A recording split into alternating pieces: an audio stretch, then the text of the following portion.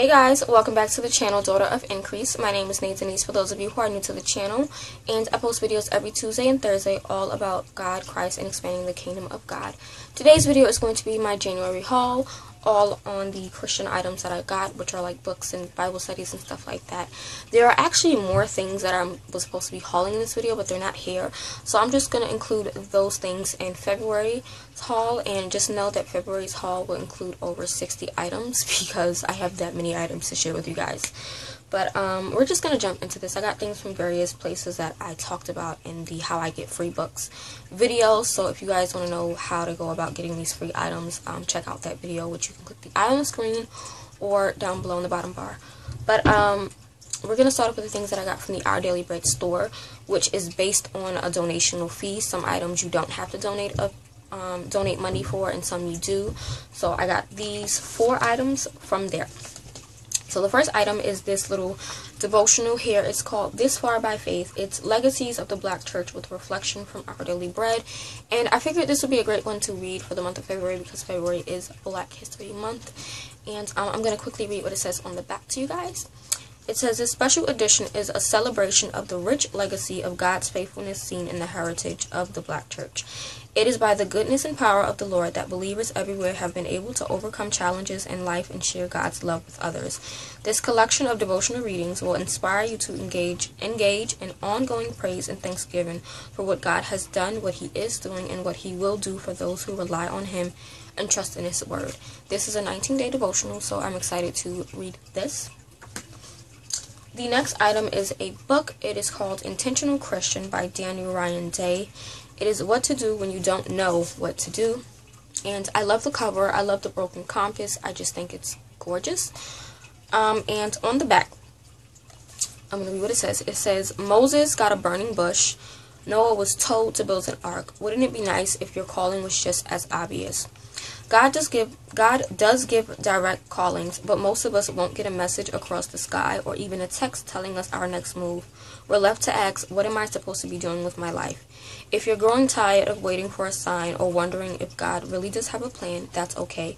Sometimes our sense of the perfect life, the dream job, or that one thing that God is surely calling us to do can be a bit warped. If you brought if you brought into the idea that you aren't living the best Christian life unless you found your perfect calling, this book is for you. Don't waste your energy struggling to figure out the big picture. Just ask the question, God, why am I here? His answer may be simpler simpler than you ever His answer may be simpler than you ever imagined. So, um, yeah, this this looks interesting, you guys. I'm just gonna tell you guys some of the the chapters. Um, it's broken up into three sections, and there are 11 chapters. The first section is called Something is Wrong, and it contains four chapters, which are when this whole dream job thing isn't working out, when God won't answer, God is already directing you, and commonly called. The second section is called What to Do When You Don't Know What to Do, and it's about chapters 5 through 9. And then part 3 is all about the specific calling, which is the last two chapters, 10 and 11. Um, this really looks interesting and I can't wait to dive into this. So the next two items are both DVD Bible studies. So I got my hands on the Cling DVD Bible study by Kim Cash Tate. You guys know I talk about this book all the time. And the review is coming. The review is coming, but I'm going to take a little longer to do that review because I do want to do the study with it. Um, we'll watch the DVD study. But um, yeah, it's about choosing a lifestyle of intimacy with God. And it's it's phenomenal. And I'm excited to, to get into this. It says, God created all of us to cling to Him, to have a close, intimate relationship where we are one with Him. Kim Cash Tate shares her discovery of what beautiful biblical word and how clinging to God has changed her life in the book Cling Choosing a Lifestyle of Intimacy with God. Now, in this six session video study, Kim's down to earth speaking style will draw you in and help you develop the spiritual disciplines of prayer and Bible reading. She encourages you to experience a more intimate relationship with God in everyday flow of life. In the midst of imperfect, troubled, and often scary times, you can find intimacy with your almighty, loving, and faithful God. You can cling to Him. And the six sessions are called Cling, Trust, Delight, Pray, Love, and Courage. Um, I can't wait to get into this. And she's also having a Cling conference um, which I am so stoked about. It's going to be in the Maryland area, so I'll leave a link to where you can um, purchase tickets to this. I think the tickets are like $125. It's a two-day conference, um, a Friday and a Saturday, if I'm not mistaken. It's in June, so I'll leave a link to where you can get tickets for that because I'm excited for this book. I'm ex I'm excited for the DVD study. Sorry, I love the book, and I'm excited for the conference. So. I have that. And then the last thing I have from Our Daily Bread is Along the Road, how Jesus uses how Jesus used geography to tell God's story, and it's from John A. Beck. And there is a companion book available to this. On the back, I'm going to read what it says. It says, Jesus was a teacher who made the outdoors his classroom and the surrounding landscape a part of his lesson. His stories were filled with farmers sowing seeds, travelers scuffing along desert, ro- desert roads, and treasures found in a field. The Lord recognized that people are connected to the land around them. And along the road, how Jesus used geography to call to tell God's story, John Beck follows Jesus from his birth in Bethlehem through his wandering ministry and his death outside Jerusalem. Beck illustrates fascinating connections between Old Testament people and places and experience of Jesus. Each episode is approximately 10 minutes each episode of approximately 10 minutes summarizes an experience in the life of Christ, showing how it is linked to the land steeped in a spiritual history. Travel with John Beck as he leads you through a landscape imprinted by God's hand. So he goes into Bethlehem, the wilderness, Mount Moriah, um, toward the Gihon Spring, to some other mountains that I'm not even going to attempt to say here they are. But um, yeah, it looks quite interesting. There's also a free study guide to this available on the um, Discovery House Publisher website, which I'll leave a link down below. So I'm excited for that. Okay, so the next book is actually a book that I got through the Tyndale Blog Network, and it is Restore by Vince. Yeah, I can't pronounce that. Antonucci, Antonucci. Um, here it is. And it is Break Out of Your Past and Into God's Future. I love the book cover, first of all, and I'm going to read the back. It says, What should you do when you feel stuck in life?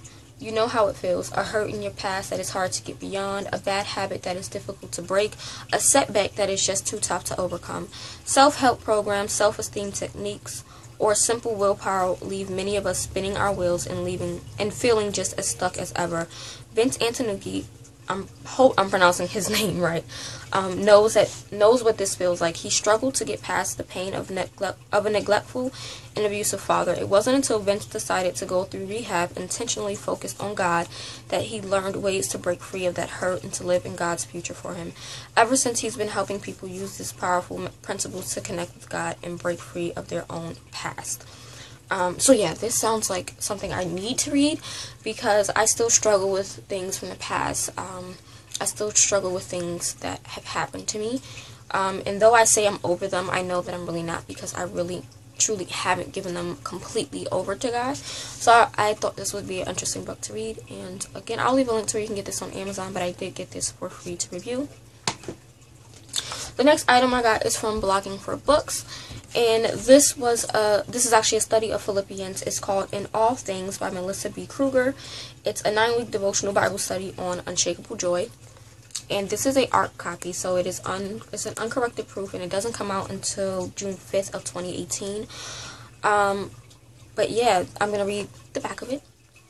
It says, Discover a joy like no other. Jesus never intended for us to have just a little bit of happiness in our lives. He wants us to have fullness of joy no matter our circumstances. The book of Philippians is an invitation to, to joy written by imprisoned Apostle Paul to believers in the early church. His refrain throughout the letter was rejoice. Sorry. His joy was unshakable, his peace was secure, his hope was abounding. His hope was abounding, but how did he find profound contentment in the midst of such difficult circumstances? Discover a joy that will carry you through all the ups and downs of life in this nine week study of Philippians. With perspective shifting insights, Bible's teacher Melissa Kruger walks you through Paul's words about the secret to no matter what joy and shows how you can find contentment and unwavering peace every day. And yeah, I know she wrote um, Walking with God in the Season of Motherhood as well as The Envy of Eve, which are two books that I definitely want to get my hands on. But yeah, I'm excited to check this out. This is definitely a Bible study, like strictly a study in which she uses um, the SOAP method. You know, you read, you get a scripture. She asks you questions about the scripture so that you can observe it. She interprets it, and then she gives you a way to apply it, and then after that, you get a devotional for that day. So I'm excited for this. The last two items I got from the BH Lifeway Blogger Program. Um, so this first one is actually something for my son. It is the Big Picture Interactive Bible Study Coloring and Activity book. And this is it's huge, you guys. It's really huge. Um, and it's really thick. And I honestly wasn't expecting that. But um, it is a coloring book all about God. And um, yeah, I'm excited for this. Just for my son to even use. You know, you have scripture verses in here, you have images, you get um, puzzles and stuff like that. So this is definitely something I'm going to let my son do every day. And definitely something I think um, if you're like a youth leader or like a children's Bible study teacher, this would be great to just purchase and make photocopies of for the kids because it's a great way to get them to interact with the Word of God. Um, and the last item that I have is this devotional from Diann Cotten and it's 100 Days with Jesus, a daily glimpse into the person of Christ. And isn't she gorgeous? She's so gorgeous. Um, it's a really cute small book. It's like this navy blue cloth material with gold foil on the front and on the back. Um, and it's just a devotional. But what I like about this devotional is one, you get a picture on the left hand side, mainly pictures of like nature, but you do have some other pictures of like people and things. Um, you get your day, your title, your scripture. She defines words that are important and then she gives you your devotional and then at the end you get a question, which I love those questions because you can always use them to prompt you into prayer journaling. So um yes, I have this and it's 100 days, 100 devotional, 100 day devotional. So I'm excited for this, you guys. Super, super excited for that. So that's pretty much it for my January book haul. Um, like I said, I did have other things. I definitely had another book to show you guys. I had another Bible study to show you guys, and um, a stack of little mini Bible studies to show you, but they're not here yet. They probably won't be here for another week. So I'll show that to you guys in the February haul.